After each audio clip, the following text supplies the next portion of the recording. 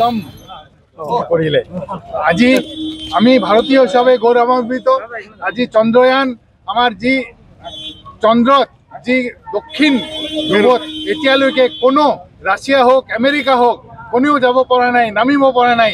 কিন্তু ভাৰতৰ বৈজ্ঞানিকসকলে এইটো সফল কৰি তুলিলে। এইটো কৰি দেখুৱাই দিলে। আমি ঊনৈছশ ঊনসত্তৰ চনতো চাইছিলোঁ। মানুহ নামিছিলে কিন্তু এইটো বেলেগ এৰিয়াত আছিলে। তাৰপিছত ৰাছিয়া হওক, আমেৰিকা হওক, পৰা নাই। কিন্তু ভাৰতবৰ্ষ আজি কৰি দেখুৱালে পৰিৱেশ কৰিলে এইটো।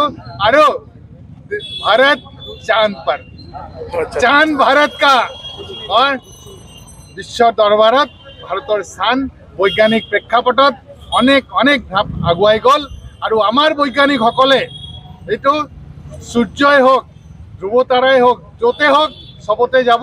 আৰু যিটো বিশ্বগুৰুৰ আমাৰ স্থান আছিলে প্ৰতিটো ক্ষেত্ৰত বৈজ্ঞানিক হওক শিক্ষাগত হওক সব ক্ষেত্ৰত ভাৰতবৰ্ষ আগুৱাই আছিলে।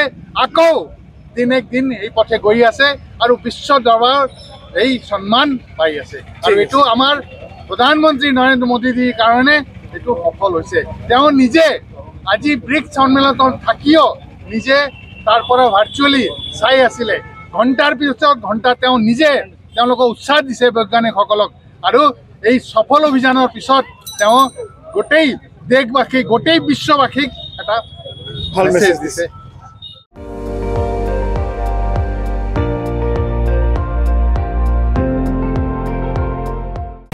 আপুনি চাই আছে এন ডি টুৱেণ্টি ফ'ৰ। সৰ্বশ্ৰেষ্ঠ নহয় সৰ্বোত্তমৰ দৌৰ।